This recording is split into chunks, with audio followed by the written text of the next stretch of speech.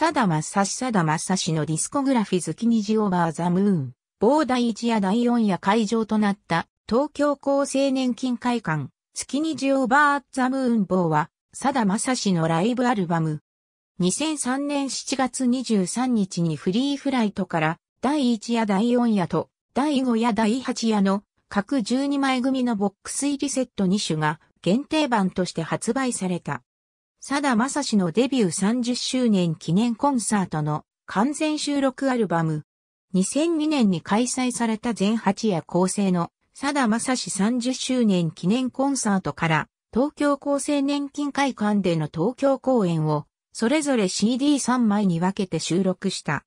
サダマサシ30周年記念コンサートは2002年9月13日から12月14日まで大阪、名古屋、東京の3会場で全24公演が行われた。翌2003年にはムーン、ボーナイトとレインボーナイトの2夜構成のコンサートが日本全国の各地方都市で開催された。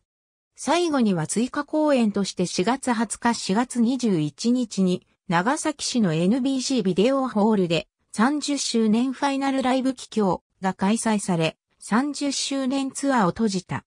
第1夜のテーマはカルテット、イメージカラーは赤。2002年9月27日、東京厚生年金会館にて収録。佐田正史和人の形式から、この公演は始まり、第1夜は、弦のカルテットと佐田のギターをメインに構成された。第2夜のテーマは、グレープ、イメージカラーは、大々。2002年9月28日、東京厚生年金会館にて収録。第2夜は、グレープ時代の相棒である、吉田正美をスペシャルゲストに迎え、グレープと一時的に再結成したレーズンの楽曲で構成された。第3夜のテーマは、アコースティック、イメージカラーは、木。2002年10月20、第3夜は公演中で最も小さなバンド編成によるアコースティックサウンドを基調に構成された。